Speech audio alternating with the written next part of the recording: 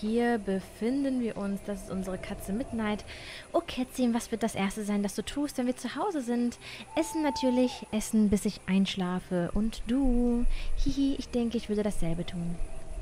So, außerdem haben wir gestern äh, einmal unser Familienfoto zurückbekommen. Das können wir uns einmal anschauen. Das sind wir, unsere Katze, ich glaube unsere Eltern und ich glaube unsere Tante oder wie auch immer. Ähm, und wir haben ein Buch bekommen. Da wollte ich mal reingucken, was da so drin steht. Okay. Ich suchte die Wahrheit, doch fand Un das Unerwartete. Ich fand, was meine Sinne mir nicht zeigen konnten. Ich fand die Wahrheit, die still im Unbekannten liegt. Leon Castello, einer der Tausend. Mein Name ist Leon, ich bin 92 Jahre alt und lebe allein in einem kleinen Haus weit ab der Stadt. Ich muss sagen, dass mir Schmuck, Häuser oder Klamotten nie etwas bedeutet haben. Seit meiner Kindheit habe ich mit den Tieren, Pflanzen und Insekten gesprochen und obwohl ich nie eine Antwort bekam, gab ich niemals auf. Wenn du das liest, suchst du vielleicht nach Antworten und vielleicht siehst du Dinge, die andere nicht sehen oder du fühlst, was andere meiden. Du hörst die Stille und wirst eins mit allem. Was gibt's noch in diesem Buch? Kannst du sehen? Ja, ich kann nicht aufhören, kann es nicht kontrollieren. Die schwarzen Schatten sind überall. Das Blut, die Nachrichten, die Schreie, der ganze Schmerz. Ich weiß nicht, warum mir das alles passiert. Schrei, weil es weh tut. Ah, das da links äh, ist übrigens das Monster, was wir gesehen haben, was anscheinend unsere Eltern getötet hat. Bei einem schrecklichen Unfall wohl. Aber das ist anscheinend das Monster, was uns so viel Angst einjagt, wo wir denken, es hat unsere Eltern getötet. Ich bin sehr gespannt, was es am Ende sein wird. Vielleicht haben wir auch unsere Eltern selbst umgebracht. Ich habe gar keine Ahnung. Super seltsam. Ich hatte eine Vision. Ich atme immer noch die Angst, die befindet sich im Kriege mit meinem Verstand. Einer der Schatten kam herab vom Himmel. Ich dachte, er sei ein Engel. Sein Name ist Remor, der Prinz der Dunkelheit aus der fünften Realität. Er sprach zu mir, spielte mit mir und zeigte mir all die Schrecken. Er sagte, ich sei der Schlüssel zu seiner Existenz. Mhm. Ich kann mich selbst sehen. Das andere Ich lügt mich an, spricht von all dem Schmerz und Leid in meinem Leben. Das andere Ich will, dass ich mich umbringe. Er lächelt, während ich buchstabiere. Bring dich um. Und ich habe es versucht, hypnotisierend, hypnotisiert von seinen Worten, aber es gibt immer etwas, das mich rettet. Es muss die Liebe zum Leben sein. Ich traf einen Schatten. Er sprach zum ersten Mal mit mir. Ihre Rasse heißt Kamalas. Sie jagen Schwäche und Schmerz. Ich fragte, ob sie menschliche Körper besitzen, und er sagte, wir werden aus Furcht und der unkontrollierbaren Krankheit des menschlichen Geistes geboren und leben davon. Für sie sind wir unsichtbar, aber unsere Existenz befällt jede einzelne Zelle bis zum Ende. Danach begann es zu regnen, und als er fortging, hinterließ er eine schwarze Ölspur. Ich glaube, dass mein Wasser sie reinigen kann. Nachdem ich sah, wie die Kamalas auf Wasser reagieren, dachte ich an ein Experiment. Letzte Nacht ist mir Unglaubliches passiert. Es scheint, dass sich die Kamalas in eine neue Kreatur verwandeln, wenn sie mit Wasser in Berührung kommen. Es schmerzte, die Metamorphose mit anzusehen. Nach der schrecklichen Schreien beruhigen sich die Kamalas und beginnen am Boden zu weinen. Es scheint, als verschwende der Schmerz nach ein paar Minuten. Erhob sich ein helles, friedliches Licht direkt vor meinen Augen. So ein Engelswesen haben wir ja auch gesehen, oder? Im Wald. Ziemlich sicher, dass wir so ein Wesen auch schon gesehen hatten. Es fühlte sich an, als ob die Kreatur meine Gedanken lesen kann. Danke, dass du mich erweckt hast. Ich habe gelitten. Ich muss dorthin, wo ich hingehöre. Iteresta wartet. Alle Valokas müssen nach dem Erwachen dorthin. Wenn du das Licht sehen willst, komm mit mir. Du hast den Schlüssel, sagte sie. Ich antworte nicht. Nach einer Weile war sie verschwunden. Das sind die Valokas, okay. Ich habe meine Notiz gelesen, ob ich etwas vergessen habe. Ich erinnere mich an Remo aus der fünften Realität. Wenn es eine fünfte Realität gibt, muss es mindestens vier mehr geben. Ich dachte daran, dass Iteresta vielleicht keine Stadt dieser Welt ist, sondern eine eigene Realität. Ich bedauere zutiefst, dass ich die Einladung der Valokas nicht angenommen habe. Seit ich die Valokas gesehen habe, sehe ich andauernd diese drehenden Diagramme in meinen Kopf und einen einzigen Satz. Zeit ist der Rhythmus deiner Wahrnehmung. Okay. Wir können übrigens mal die Pillen nehmen und mal abchecken, wie es hier aussieht. Also ihr seht, auf Pillen sieht die Welt ein bisschen unheimlicher aus. Unsere Katze ist auch weg. Oh Gott, ein Babyskelett. Sie haben es wohl nicht rechtzeitig geschafft. Gute Nacht, süße Träume. Okay. Gehen wir mal weiter. Können wir mit denen reden? Hallo? Seid ihr neugierige Insekten, die stecken bleiben? Sie schlafen. Vielleicht stecken sie gar nicht fest. Mal ohne Pillen. Okay, ihr seht, ohne Pillen und mit Pillen sieht die Welt ein bisschen anders aus. Ähm. Oh mein Gott, diese Brücke sieht gruselig aus. Was können wir da machen? Oh, Fran, komm schon, wir müssen nach Hause. Wir haben keine Zeit, ängstlich zu sein. Ich, ja, aber ich habe ein bisschen Höhenangst. Hm, kann ich zuerst? Ja? Dann folgst du mir. Okay, Kätzchen, du bist so süß. Ich bin direkt hinter dir.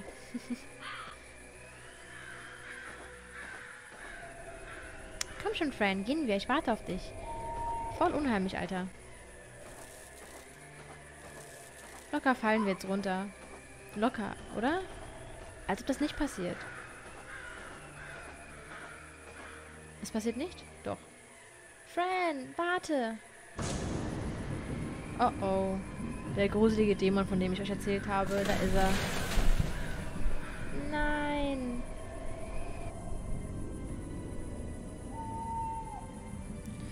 Mein Liebling, ich kann mich nicht mehr halten. Ich will nicht sterben. Du wirst nicht sterben, Fran. Komm schon, du schaffst es. Spring. Okay. Und los. Hab dich. Die Katze mit der Pfote. Oh. Fran!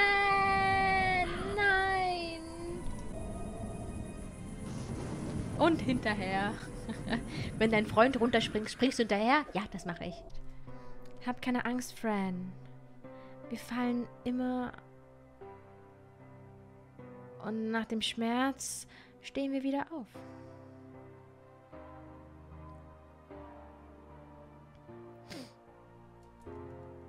Okay. Oh, liebe Tante Grace, verlass mich niemals. Weine nicht, meine Kleine, dein Herz ist rein und dein Geist wurde gequält. Oh. Du musst bleiben und deinen eigenen Weg gehen.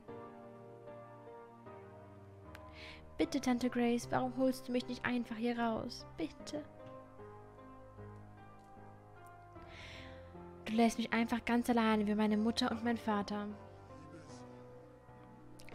Tut mir leid, meine liebe Fran. Du wirst es schon bald verstehen. Tante Grace, nein, geh nicht. Bitte, bitte. Fran, es ist Zeit für deine neue Medizin. Oh, dieser Arzt, Alter.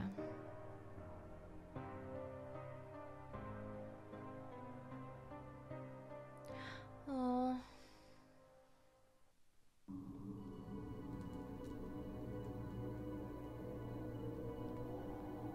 Wo sind wir hier? Sind wir tot?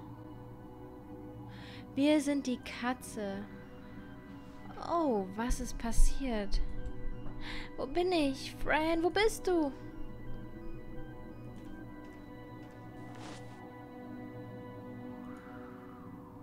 Ah, hässlicher Baum, ich zerkratze dich, du böses Ding. Kätzchen, Kätzchen, hör auf, was sagst du da? Fran, mein Liebling, bist du es? Das kann nicht sein, das kann nicht sein.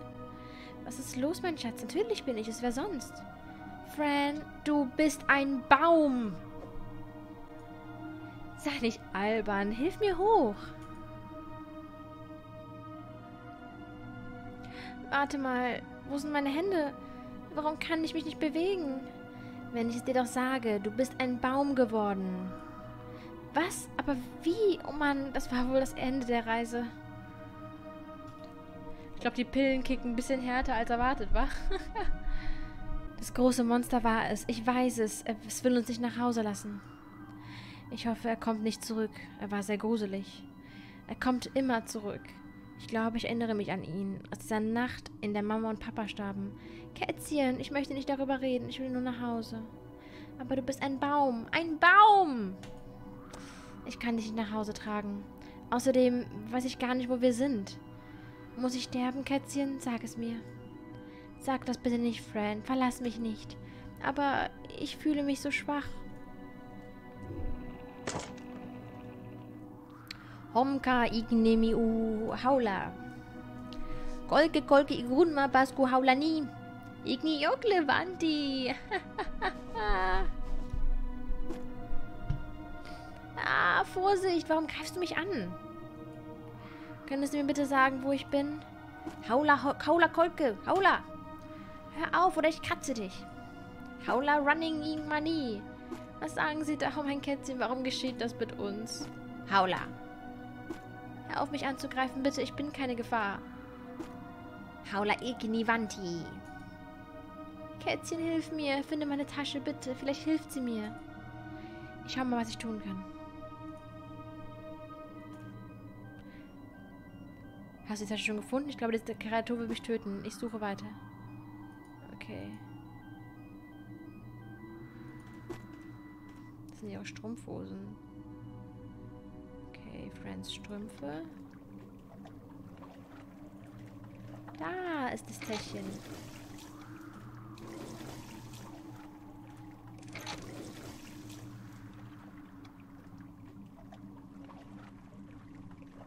Hm.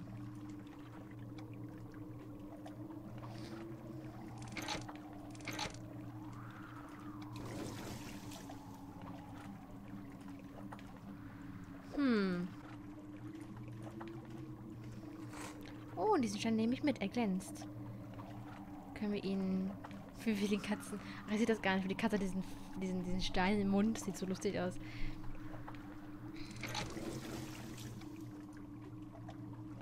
Kann ich den Stein benutzen? Nutze Mondstein mit Zahnräder. So, jetzt steckt das fest.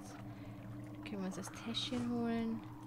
Ich habe die Tasche und das nur, weil ich der Beste bin. Los geht's. Fran, bitte sei noch da. Nein.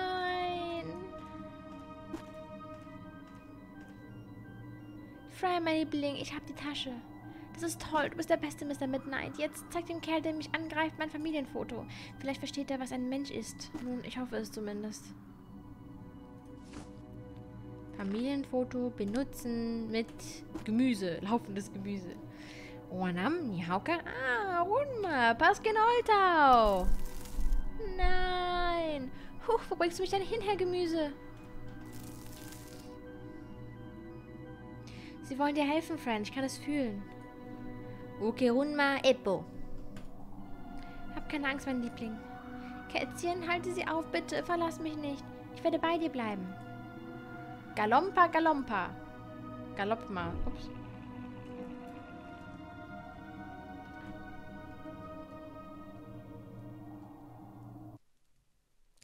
Kapitel, Kapitel 3 Wachkoma.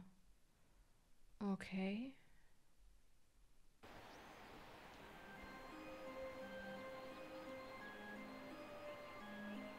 Diese Namen sind so seltsam. Was ist passiert? Wachkoma? Warum, warum Krachkoma? Ich bin sehr gespannt. Okay. Ich mrau ibtem Gorska imitanul friol. Gorskats Jahre. Oh. König des laufenden Gemüses. Ah, willkommen, Kreatur. Mein Name ist Ciare. Sprichst du Mensch? Oh mein Gott, ja, tue ich. Endlich. Mein guter Freund Wright hat mir erzählt, dass du mir ein Bild gezeigt hast. Mit vier Menschen und einer Katze. Ich nehme an, du bist eine von ihnen, das kleine Mädchen. Vergib meinem guten Freund, falls er sich erschreckt hat. Wir haben noch nie einen Menschen gesehen, der aussieht wie ein Baum. Bitte hilf mir, ich bin ein Mädchen. Oh, oh, oh, oh, wir brauchen nicht sprechen, mein Kind. Dieser Samen zeigt mir alles. Ipte monakoi ecto ectobro ectoprote.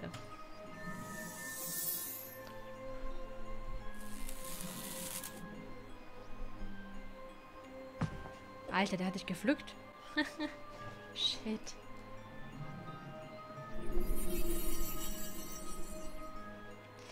Hm, lass mich mal sehen. Du bist gut, daran gibt es keinen Zweifel. Ein Sucher der Wahrheit. Das kommt in der Familie der Bows häufig vor. Ah, dein Name ist Fran, das Mädchen mit der Leidenschaft für das Leben. Ich sehe große Liebe zu der kleinen Kreatur neben dir. Eine Katze, Beschützer der Tore, interessant. Siehst du alles in einem Samen? Sei still. Ich sehe noch etwas. Der Samen verbirgt nichts. Ich sehe eine Welt, die niemand sehen sollte. Niemand außer einem. Was meinst du mit außer einem? Du meinst das Monster? Du solltest nicht hier sein, Fran. Das ist das Einzige, was ich dir sagen kann, mein Kind. Ich will hier nicht sein. Ich will nach Hause. Wir könnten dich jetzt nicht gehen lassen, es ist zu gefährlich für uns. Du hättest nie von unserer Existenz erfahren dürfen. Es muss einen Weg geben, sag's mir. Bin ich tot oder so etwas? Tot? Was meinst du damit? Du weißt schon, wenn man nicht mehr da ist. Außerdem ist es nicht normal, ein Baum zu sein. Ich muss tot sein. Der Tod ist nur die Abwesenheit von Liebe. Sobald man keine Liebe mehr spürt, stirbt man, selbst wenn sich der Körper noch bewegt. Dann bin ich nicht tot. Du musst mir helfen, nach Hause zu kommen. Kleine Katze, komm näher, lass dich ansehen. Wie heißt du? Mein Name ist Mr. Midnight. Das ist ein sehr schöner Name. Glaubst du, Fran sollte nach Hause gehen? Ja, das tue ich. Sag uns deinen Heimweg. Ich flehe dich an. Ah, ich habe eine Frage. Bist du der König? Haha, du bist ja herrlich. Ja, ich bin der König. Der König von Itersta. Oh, welch Ehre, Eure Hoheit. Übrigens mag ich eure Blätter. Die sind schön. Hoheit, König, bitte, werdet ihr mir helfen? Warum wollt ihr so sehr nach Hause gehen? Der Sam erzählte mir eure Geschichte. Du hast nicht viel, zu dem du zurückgehen kannst. Es gibt trotzdem viele Gründe, Hoheit. Aber der wichtigste ist meine Tante. Sie wird mich beschützen. Ich möchte das Gefühl haben, dass sich jemand um mich kümmert. Relatable. Ich bin total verwirrt und ich möchte da sein, wo es sich nach zu Hause anfühlt. Verstehe. Ihr seid sehr mutig. Möchte einfach nur nach Hause. Bitte helft mir. Es gibt Dinge, die ich nicht tun kann, aber ich werde euch helfen. Ich führe euch zu der Tür, die nach Hause führt, aber ihr durchschreitet sie auf eigene Gefahr. Wirklich? Oh, vielen, vielen Dank. Wo ist diese Tür? Später. Eins nach dem anderen. Du musst in diesem Land gehen und sprechen können. Ja, das wäre wirklich toll. Ich fürchte, ich kann dir deinen menschlichen Körper nicht zurückgeben. Das kann nur der große Zauberer. Aber über ihn reden wir nach der Prozedur. Zuerst musst du unsere Sprache verstehen. Aber wie soll ich jemals eure Sprache verstehen? Ist diese Frucht. Mmm, geilo. Voll seltsam, Alter. Deine Ohren und Zunge werden verstehen können, aber nicht deine Augen. Das heißt, du wirst nicht lesen können. Macht euch darüber keine Gedanken. Ich kann ja nachfragen. Entschuldigung, verstehst du, was ich sage, menschliches Wesen? Ja, tue ich. Du klingst so nett, unglaublich. Hast du ihn verstanden, Kätzchen? Nein, habe ich nicht. Ich verlange eine Frucht für mich, die, für die Katze, Eure Hoheit. Du brauchst sie nicht, Mr. Midnight. Unser Land besteht aus Gerüchten und Geräuschen. Gerüchen und Geräuschen. Bald siehst du alles als deine eigene Welt an. Daran habe ich keine Zweifel. Du schaffst das, Kätzchen. Und, wisst ihr, warum ich ein Baum geworden bin? Ja, aber ich glaube nicht, dass ich der Richtige bin, dir die Antwort zu geben. Warum nicht? Nun ist es Zeit für die Prozedur. Hast du Höhenangst? Ein bisschen, ja, mir wird schwindlig. Wieso? Bringt sie nach oben. Sofort. Wohin bringt ihr mich? Was habt ihr mit mir vor? Du sollst Arme und Beine bekommen. Alles wird gut werden. Ich werde auf dich warten, Fran. Ich liebe dich.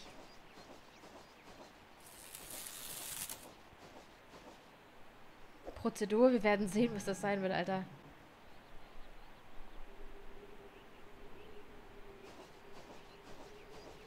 Schmeißt er uns jetzt runter?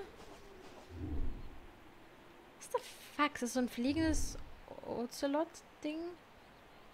Guten Tag, mein Name ist Palontras. Ich bin heute dein Arzt. Zu Diensten. Bist du, in bist du der Notfall? Wow, fantastisch. Was für ein großes, schönes, flauschiges Ding. Entschuldigung? Oh, tut mir leid. Es ist nur so, dass ich noch nie etwas wie dich gesehen habe. Ich versuche immer noch zu verstehen, dass all das hier echt ist. Mein Name ist Fran. Ich bin ein menschliches Mädchen. Der König schickte mich, um Arme und Beine zu bekommen, damit ich nach Hause kann.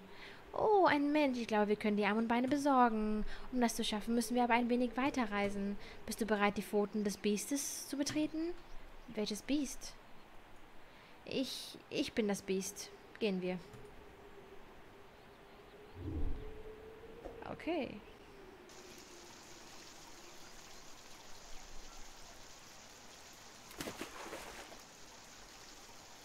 Da wären wir.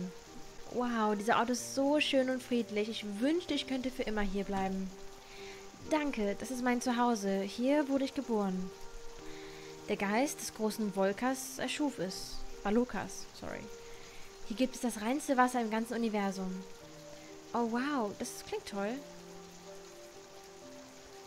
Also, wann bekomme ich meine Arme und Beine wieder? Oh, stimmt. Wir warten, bis das Wasser das, den Fluch bereinigt hat. In der Zwischenzeit können wir uns unterhalten. Okay, mm, also, wer ist dieser Valokas? Hast du noch nichts von den fünf Realitäten gehört? Er ist der König der ersten Realität. Vor langer Zeit war er im Krieg mit der Dunkelheit und eines Tages fiel er. Er fiel so schlimm, sein Herz war gebrochen, er war ganz allein. Aber er kam nach Itersta und sein Blut färbte dieses Wasser pink. Darum ist es so rein, eine sehr lange Geschichte. Wow, das klingt super. Ich meine, ich wusste nichts von anderen Realitäten. Und warum bist du hier? Was brachte dich nach Itersta? Mein Kätzchen, Mr. Midnight, ich war auf unserem Heimweg. Ich war so glücklich, ihn zu sehen und zu umarmen, aber dann fielen wir. Das große Monster, das mir folgte, hat es getan. Er zerstörte die Brücke, er will mich tot sehen. Wer würde dich tot sehen wollen? Das klingt schrecklich. Ich möchte lieber nicht darüber reden. Aber, Herr Doktor, warum bin ich ein Baum geworden? Ja, manchmal sind unsere Wünsche so stark, dass sie wahr werden. Du hast es getan, um dich selbst am Leben zu halten. Sieh es mal so, der menschliche Körper wurde zerstört. Aber du wolltest Fran bleiben, du wolltest dein Leben behalten. Also hast du diese leere Hülle genutzt, um all deine wertvollen Erinnerungen bei dir zu behalten. Es ist das erste Mal, dass ich einen Menschen einen Baum als Verpackung nutzen sehe. Aber es ist gefährlich, dich hier zu haben. Das macht unser Land angreifbar. Ich habe mir das selbst angetan. Wow, aber Palontras. Wie? Ich wusste nicht, dass ich überhaupt was getan habe. Du wusstest wirklich nicht, was du getan hast? Verstehe. Nun denn, als du nach Itersta gereist bist, hast du eine Tür zwischen deiner und unserer Realität geöffnet. Und durch diese offene Tür können unbekannte Monster auch in, diese auch in unsere Realität eindringen. Und wenn das geschieht, wird das Gleichgewicht vergiftet. Und es gibt nur einen, der, diese, der die zweite Realität vergiften würden wollte. Das Monster, das schlimme Schwarze. Das darf nicht schon wieder passieren, auf keinen Fall. Nicht traurig sein, Doktor. Es tut mir leid, das wollte ich nicht. Oh, kleines Mädchen, du bist so nett und du musst dich für nichts entschuldigen. Du bist etwas ganz Besonderes, aber konzentrieren wir uns auf deine Arme und Beine. Mm, ja, Doktor. Soldat der Sonne, Geisteswasser, gebt Fran ihre Arme und Beine.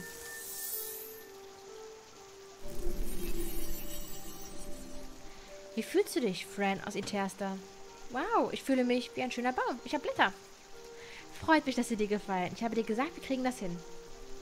Das Wasser ist magisch. Es heilt alles. Alles? Glaubst du, du kannst Mami und Papi wieder heil machen? Oh. Wie meinst du das, heil machen? Bestimmt nicht mit ihnen.